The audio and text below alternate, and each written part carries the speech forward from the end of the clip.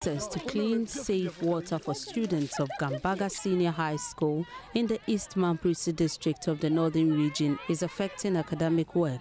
Students of the school on daily basis spend productive academic time in search of water from nearby communities. This is because of the inadequate supply of water to residents of the area. Some students of the school tell Joy News they are often bitten by snakes and report to class very late. When it comes to water issue on campus, students have to sometimes trek for like five miles to some streams to fetch dirty water to come for their consumption, which is sometimes very dangerous. But we have no other option, but we have to compel to that because there is no water.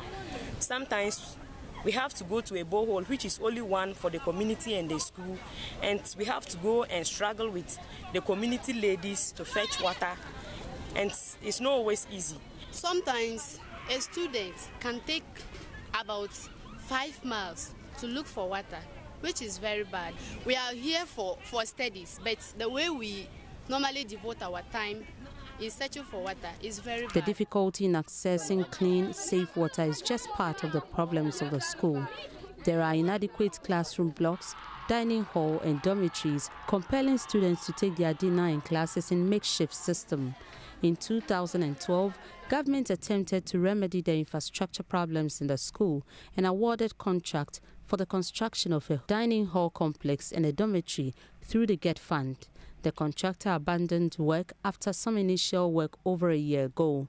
Headmistress of the school, Amina Musa, said with the increase in the student population from 40 in 2007 to 656 at the moment, students and teachers are enduring hard times in teaching and learning. The school lacks so many things.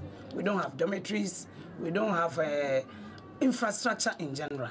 It's a problem for the school. We just have a few classroom blocks. The problem of accommodation for them. GET Fund has given the school two uh, projects which are ongoing. We have the dormitory block and then the dining hall complex with the dining hall complex in particular, over one year now, we haven't even seen the contractor on site. And so I think that it's important that we pay attention to uh, Gambaga Girls Senior High School. Mahmoud Mohammed Nuruddin's report from the Northern Region.